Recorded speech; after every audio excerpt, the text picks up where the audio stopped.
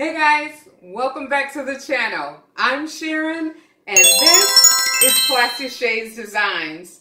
I have missed, missed, missed, missed you and I'm so glad to be able to bring you into my little world today and um, introduce you to some vases that I'm getting ready to create. So, long story, condensing, condensing, I'll try to condense, but I haven't seen you guys in so long, I just feel like I need to talk and share so much stuff that's going on.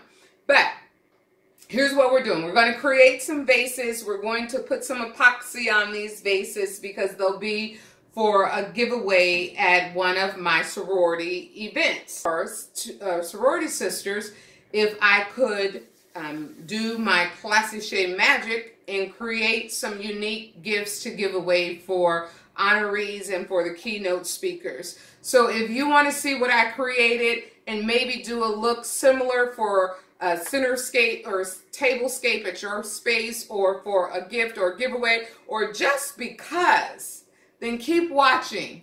But let's get crafting. I miss you guys.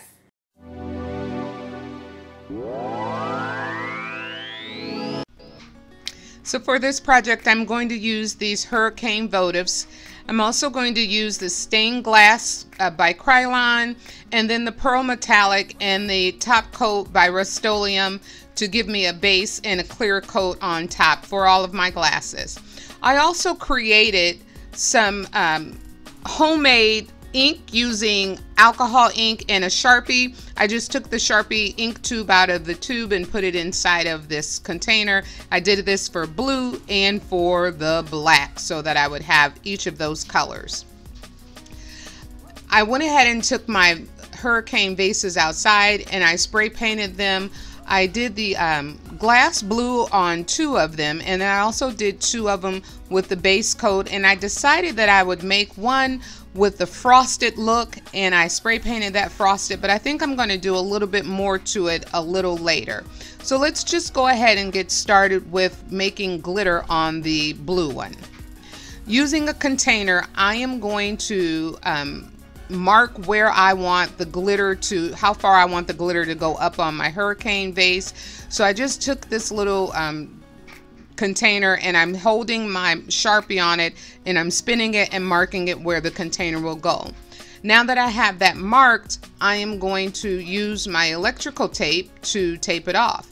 And I found that I like electrical tape better because it um, has elasticity in it and I can get a better um, bend on it than I can with regular painter's tape. So then I'm coming in now with my Mod Podge and I'm going to put a heavy amount of Mod Podge on the bottom of this so that we can glitter it.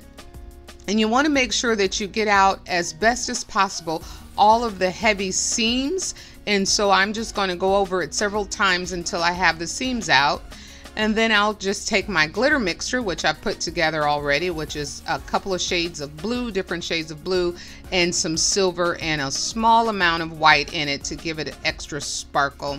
And we'll just make sure that this has glitter all over it. And we're going to do this a couple of times.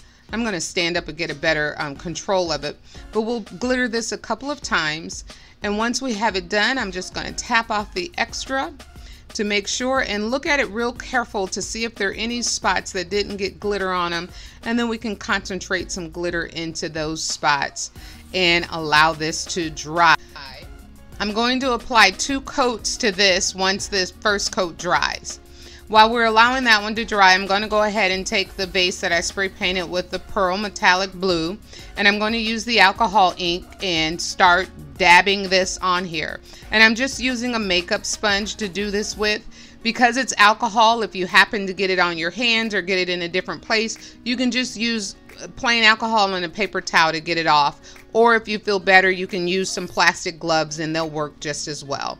There's no right or wrong way to do this. You just take the ink that you want and dab it on until you have your desired look. I got the blue all over it and then I came in with some black and I am using black ink to give it just a little different dimension on the bottom, make it look a little heavier toward the bottom. And I'll go back in a couple of times with the alcohol ink because it does dry fast.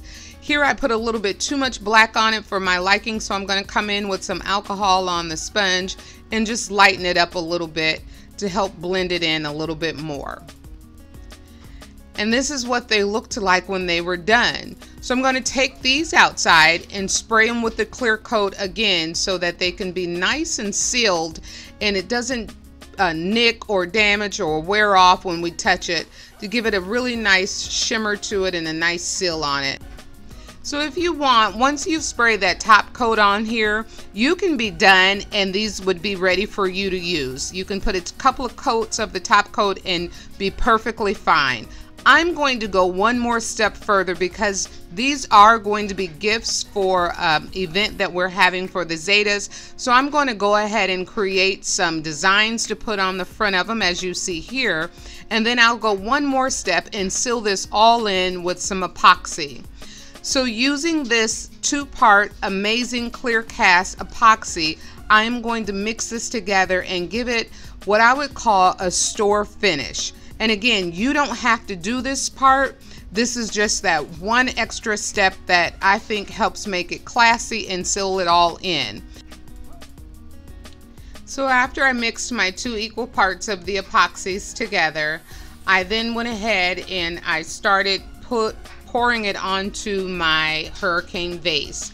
And this is what I'm doing right now is just making sure that I have it over the vinyl so that the vinyl when you touch it and it's all complete it'll be just one smooth glass and you won't be able to feel the um, difference in the layers there. So I'm gonna make sure I get a nice smooth covering and cover all the glitter and all the glass. And now I'll just start it to rotate so that while this is drying it'll help it dry even. And this is just a um, homemade rotisserie that I cup rotisserie that I made. I saw in a YouTube video and created one for myself because I've really gotten into making these uh, tumblers and, and um, vases on here and I just absolutely love it.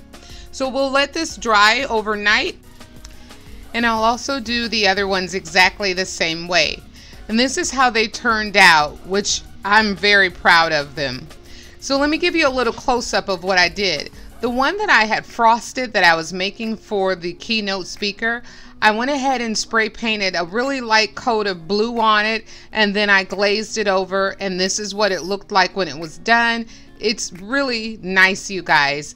And then this one, I did the other ones the same way. I put the nice glaze over it. I put the honoree on them. And I even put a little bit of sparkle inside of the glaze so that it would have some shimmer to it.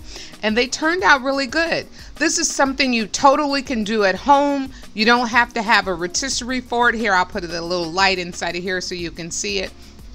You don't have to have the rotisserie. You can just put a thin coat over it and use it to take it to that next step with the epoxy.